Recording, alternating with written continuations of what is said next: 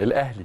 بس يعني خلاص نقطة من أول السطر. الأهلي ده الأهلي ودي جماهير النادي الأهلي وده رئيس النادي الأهلي. لقطة الحقيقة بتقول كلام كتير جدا ومعبرة إيه اللي يخلي رئيس نادي كبير جدا في عز فرحة انتصار وتحقيق لقب جديد في بطولة مهمة واحد من من واحدة من أنت بتقابل بطل قارة يعني بطل الكونفدرالية وبطل قارة إفريقيا بتقابله في مواجهة صعبة فريق ليه احترامه فريق مباراة والسيناريو مباراة كان شديد التعقيد صعوبات كتيرة جدا قابلها النادي الأهلي في المواجهة دي.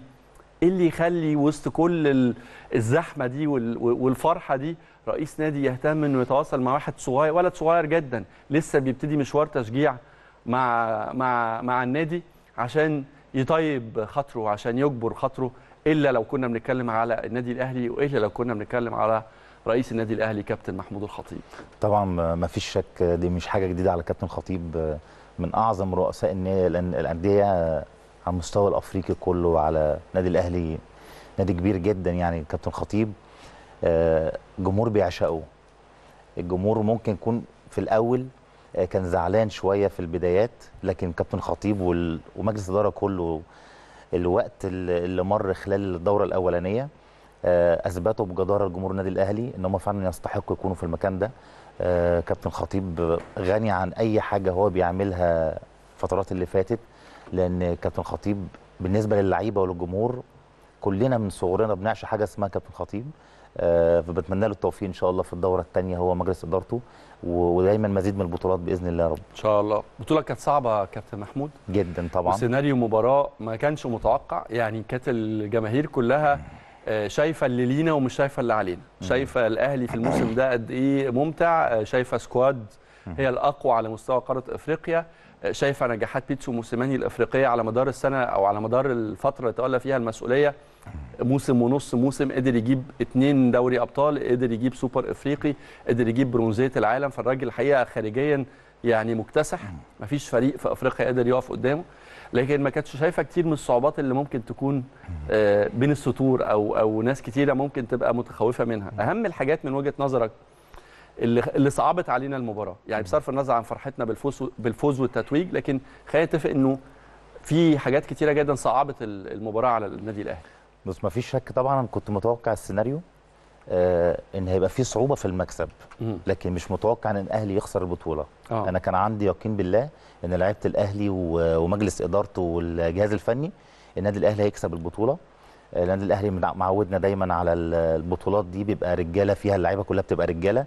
آه، لكن كان في صعوبات. كنت متوقع السيناريو إن المكسب يتأخر. آه، وده ناتج عن اللي حصل في منتخب مصر. آه، عندك لعيبة مجهدة. الشناوي أيمن أشرف مش راجع بحالته ال- البدنية اللي هو عليها. أيوه. آه، أكرم توفيق حمدي فتحي. بالنسبة لشريف وقفشة مش هتكلم عليهم بدنيا لأن هم ما شاركوش بالشكل المطلوب مع منتخب مصر لكن كان عنده عليهم ضغوط نفسية من مستر كروش. آه، نفسيا ما كانوش في حالتهم. شايف انه شريف وقفشة آه، كانوا أنا يعني- بشوف إن هم اتعاملوا نفسيا مش كويس. مش آه. مش الاثنين اللعيبة اللي يليق بيهم التعامل دوت في منتخب مصر. مم. كان يستحقوا إن هم لعيب هداف الدوري محمد شريف. آه، قفشة من أفضل اللعيبة آه، إذا ما كانش هو الأفضل فعلا في الدوري المصري خلال الموسم اللي فات ما كانش يستحق إن هم يتعاملوا بال- بالشكل ده. فكان عندك خمس ست لعيبة مجهدين مجهدين بدنيا بشكل كبير جدا فالله يكون في عون مستر موسيماني والجهاز الفني بعودة اللعيبة لمنتخب مصر. آه، ما فيش شك إصابة السولية فرقت كتير جدا في بداية المباراة. آه، ده اللي خلى اللعيبة دخلت في الجيم متأخر. آه، كون إن أنا أرجع ياسر إبراهيم يلا يقوم بدور حمدي فتحي إدى تأخر شوية للعيبة في في دخول المباراة أيوه ناس كتير اتكلمت في الحتة دي آه، طبعا حمدي فتحي كابتن محمود يعني في ناس كتير كانت شايفة إنه ليه الراجل ما فكرش يخلي حمدي في مكانه وينزل اكرم مثلا بالظبط. يلعب جنب ده, ديانج ده اللي أنا قلته في ال- وأنت كمان برضه وأنا؟ بتفرج قلت آه. يعني أقرب حاجة إن أنا ما أخسرش حمدي فتحي في ال position الجديد دي، اللي أنت آه. حطيته فيه أيوه. وأخسر طريقتي وكون أنا أحط أكرم توفيق جنب ديانج وأحط محمد هاني أو ايا كان مين متواجد في ال back right. أيوه. كان هيدي الأفضلية في ال game من البدايات للنادي الأهلي. لكن أنت آه، مستر موسيماني عنده ثقة في في في حمدي فتحي إن هو يبقى جنب ديانج وياسر إبراهيم هو اللي يكون متواجد ورا فطبعا إدى تأخر شوية في إن أنت تخش ال game إن أنت already بتلعب بقى بثلاثه ثابتين. أيوه. حمدي فتحي كان بيدي زيادة في نص قادر يعمل الدور الهجومي بالظبط وبيأديها. بشكل رائع وتحسب لمستر موسيماني والجهاز الفني أيوه. إنك قدرت توظف حمدي فتحي في المكان دوت وإنك استجبت لطلبات جمهور كبير جدا من النادي الأهلي إنك كنت مطالب إنك تغير الطريقة. في شك كان الناس آه، والجمهور آه، متضايق شوية زعلان شوية آه، بالطريقة بإن في لعيبة مش في حالتها. آه، الوضع السنة دي مختلف جدا للنادي الأهلي. الشكل متغير. آه، بشكر مستر موسيماني على حاجة معينة جدا. وهي مش موجودة في كل المدربين الأجانب وهي إنك مش مدرب عنادي بتسمع للناس بتسمع لمجلس الإدارة بتسمع للجهاز المعاون آه، ما عندكش حتة العنادية في اختياراتك وده اللي منجحه هو والجهاز المعاون اللي معاه قصدك إيه؟ آه، الناس كلها عارفة طبعا إن مستر أيوة. كروش مدرب عنادي وده أثبت لنا فيه في بطولة كأس العرب. ما بتسمعش لحد رأيك من قرار قرارك من دماغك آه، الناس كلها مش أنا بس وأكيد حضرتك كنا شايفين اللي حصل في كأس العرب. لا كنا منتخب مصر كان ممكن يبقى أفضل من كده ويبقى في حتة تانية أفضل من كده بكتير آه، لولا ال- العنادية آه. شوية في في بعض القرارات وفي بعض اللعيبة وفي بعض الاختيارات كان الشكل ممكن يبقى أفضل كتير لكن أنا بشكر مستر موسيماني على إن أنت استجبت لطلبات جمهور كتير من النادي الأهلي والمجلس الإدارة وإنك بدأت تغير من الطريقة بدأت تغير من اللعيبة جالك صفقات كبيرة جدا آه، على رأسهم بيرستاو وأحمد عبد القادر وغيرهم. الشكل اتغير في النادي الأهلي وده ناتج على إن أنت دلوقتي في الأسبوع السابع آه، أو الأهلي لعب ست مباريات على ما أعتقد. لا الشكل مختلف. النادي الأهلي بيحقق ست انتصارات وعنده مباراة بكرة إن شاء الله آه، ماشي بشكل كويس جدا. آه، لكن الفترة اللي جاية الأمور هتصعب على النادي الأهلي. منتخب مصر بطولة امم أفريقيا كأس عالم أندية فعلا الله يكون في عونهم. تع- تعالى أكلمك شوية على أحمد عبد القادر. أنا هسيب ال super boy للآخر. يعني ال super boy بتاع ال- ال Super Cup هتكلم عليه في الآخر عشان ده كريزة الماتش. أنا بتكلم على طاهر طبعا.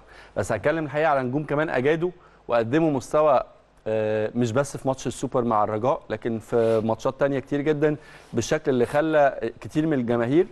أنا دايما عشان الجمهور مش في مدرجات. قوي فصوته مش واصل فبحاول أشوف الناس بتتكلم على إيه في ال social media أحمد عبد القادر عبد القادر من الأسماء اللي ليها نصيب الأسد والناس دايما بتتكلم عليه على إنه عبد القادر لازم ياخد فرصة كاملة ولازم يبتدي أساسي وإنه مثلا في سبيل على سبيل المثال في مباراة امبارح غير من من شكل وطريقة واسلوب أداء النادي الأهلي فبالتالي كتير من الجمهور في النهاية القرار بتاع مستر موسيماني دي قصة إحنا طبعا عارفينها لكن لكن خلينا أسمع رأي كابتن محمود. هل شايف إنه عبد القادر آن الأوان؟ وناس كمان بتقول لك إنه عبد القادر اتظلم ظلم باين بعدم انضمامه لمنتخب مصر. طبعا رأيك آه، كابتن محمود؟ مفيش شك. النادي الأهلي كان بيفقد الموسم اللي فات آه، في الطرفين حتة النواحي الفردية والمهارية كنا مفتقدينها. آه، عبد القادر من اللعيبة الصغيرة اللي اللي فرقت معاه حتة إعارته لسموحة آه، فنش بشكل كويس جدا مع سموحة. تحسب للكابتن أحمد سامي توظيف أحمد عبد القادر وإن هو يديله عدد مباريات كبيرة ويحرز 11 هدف الموسم اللي فات آه، غير الأسيست اللي هو كان شغال عليه. آه، رجوعه للنادي الأهلي كانت صفقة من أهم الصفقات رجوعه هو وعمار لكن بالأخص أحمد عبد القادر لأن هو اللي شارك. أكتر من من لا، عبد عمار القادر طبعا هو بيحتفل امبارح آه، آه لعيب الجماهير في أنت عارف. جمهور النادي الأهلي آه، آه. الانطباع الأول بالنسبة له بيدوم آه، مش امبارح يعني آه، في مباراة السوبر يو إحنا بالنسبة لنا ده امبارح جمهور النادي يعني. الأهلي آه. الانطباع الأول بالنسبة له يدوم عبد القادر عنده شخصية أيوه آه، لعيب مهاري وسريع بيقدر ينقلك في الثلث الأخير الثلث الهجومي الأخير بشكل كويس جدا. بص مين اللي بيحتفل معاه يا كابتن محمود؟ الأطفال كلها آه، آه، كلهم يعني أطفال. لا وشو- وشوف الحالة يعني عموما يعني لما بتاخد طفل في الاستاد في السن ده يعني هو بص، جون جه الجمهور- بطولة. لكن ده ده جمهور بقاله 20 سنة بيتفرج الجمهور الجمهور في الدوحة في الاستاد جمهور أيوة. النادي الأهلي الشك الشكل بتاع الجمهور حاجة تفرح آه. حاجة تدي باور للعيبة غير عادية. أنا كنت مبسوط بشكل الجمهور وشكل الملعب آه وكنت حاسس إن الأهلي عمره ما بيخذل جماهيره لما بيشوف العدد الكبير ده أكتر من 30 ألف متفرج في المباراة. الشكل كان رائع ده اللي خلى لعيبة الأهلي لآخر نفس بيقاتل عشان خاطر يروح الناس مبسوطة. صحيح. لا سيبك من النقل التلفزيوني للمباراة بكاميرات القنوات اللي كانت بتنقل. أنا عايزكم تدوروا واكيد خبطتوا في حاجات من دي كتير على ال social media الناس اللي كانت فاتحة لايفات ساعة. الماتش. وشوف بقى ال- التصوير من المدرجات في اللحظات في الدقائق الأخيرة بالذات. يعني أغلب الناس فتحت لايفات في آخر خمس دقائق من الماتش آه، لغاية لما الأهلي سجل جون. وشوف التشجيع اللي في مدرجات النادي طبعاً. الأهلي كان عامل إزاي. رهيب. وشوف الفرحة الرهيبة لما لما جول جه الناس يعني مش عايز أقول لك. كأنك جبت جون في كأس العالم طبعا. الناس طبعا وسبحان الله يعني بقول في أوقات كتيرة جدا بنعدي بماتشات وسيناريوهات صعبة جدا يا كابتن محمود وبنقعد على أعصابنا 90 دقيقة بس المكسب ساعتها بيبقى ليه طعم طبعا خالص بص بعد ما المباراه ما خلصت أول حاجة جت في ذهني نادي الأهلي بيدي درس لكل فرق أفريقيا في نهائي البطولات مم. من ساعة صفاقس 2006 وجول أبو تريكة. ها وسيوي سبورت مع كتير بقى من آه ساعتها. كتير آه آه. الأهلي بيدي درس في نهائي البطولات لافريقيا لفرق أفريقيا كلها من الفرق الوحيدة اللي بتلعب لآخر دقيقة. لحد الدقيقة من أول المباراة لحد الدقيقه 80 ما كانش عندي شك خالص الأهلي ممكن يخسر. مم. بس ابتديت أتشد شوية من بعد الدقيقه 80 أيوه. لحد الدقيقه 89 لما جه الجول يعني فرحة مش قادر أقول لك. أنا كنت مبسوط جدا. وفعلا شك طلع في محله لا إن النادي الأهلي لا هيكسب. وكون إن ربنا يعوضك في الدقيقة 89 بجول اذا البطولة من نصيب النادي الأهلي. وفعلا مفيش شك. وعايز أقول لك من أفضل المباريات في الضربات الجزاء اللي شفتها لعيبة النادي الأهلي تركيز غير عادي. مم. لأول مرة أشوف اللعيبة فعلا في ضربات الجزاء مركزة بالشكل ده. أيوه. لعيب كل لعيب داخل عارف قيمة البطولة وهو بيحط الكورة في ضربة الجزاء. مم. عايز أقف معاك مع لقطة الاحتفال بهدف طاهر محمد طاهر. لأنه الاحتفال ده بيقول كلام كتير رسالة جدا كبيرة جدا. وبيرد على كلام كتير جدا جدا جدا. تمام. كان بيتقال في الفترة اللي فاتت ما كانش في لقطة أنسب من لقطة إحراز النادي الأهلي. لو بالمناسبة خليني أقول لكم إنه لو الجول ده كان جه بدري ما كنتش شوف ما كنتش شفتوا الحالة دي. يعني لو الأهلي سجل الأول أو المباراة دي الأهلي سجل في بدايتها جول مثلا وفاز بالبطولة 1-0 ما كنتش هتحس بالبطولة دي بنفس الشكل ما كنتش هتقدر حجم المجهود بنفس الشكل. ما كنتش هتشوف الروح دي بين اللعيبة وفرحة اللعيبة بطاهر. أولهم الناس اللي قاعدة على الدكة. طبعا. أولهم الناس اللي بينافسها طاهر نفسه عشان يكون موجود جوه الملعب. فأعتقد اللقطة دي لقطة الاحتفال دي آه، ترجمت حاجات كتيرة جدا كابتن محمود. آه اللي عمله طاهر وكون توفيقه في المباراة دي إن هو اللي يحرز الهدف. طبعا ما فيش شك إن الهدف ده ده مش هدف بثلاثه بونت في دوري. أيوه.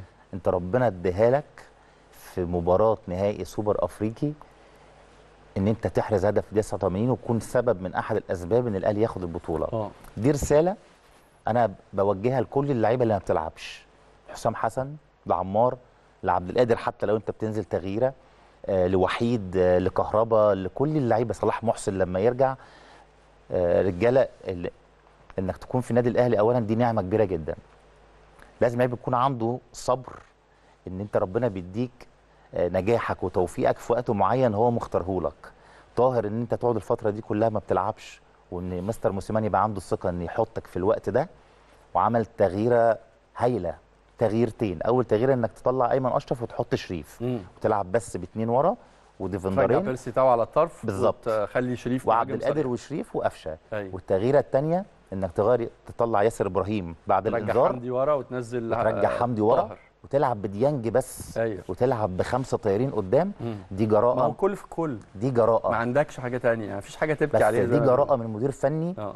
آه، ذكي إن أنت ما عندكش حاجة تبكي عليها و- وعندك يقين في لعيبتك سواء حمدي إن هو بيلعب جنب بنون أو ديانج لوحده أيوه. أنت عندك يقين في لعيبتك إن هيقدروا يفرقوا. أيوه. فدول تغييرتين فرقوا جدا مع النادي أنا الاهلي عايز أقول لك إنه قناعات 90% من جمهور النادي الأهلي إنه الحكم ده لو ادى الوقت الضايع الطبيعي بتاع المباراه. كان الأهلي هيكسب كان في الأهلي ال كسب. في ال ف- في ال في ال ف- 90 آه، رسالتي لطاهر انت ربنا كرمك في وقت صعب جدا الجمهور كله في في المدرج وإن أنت بتحرز الهدف ده أكيد نتيجة تعبك الفترة اللي فاتت في التمرين ونتيجه صبرك وإن أنت المدير الفني حطك في وقت معين هو أدرى بيه إن أنت هتنزل إمتى فدي الرسالة دي للعيبة كلها اللي ما بتلعبش مم.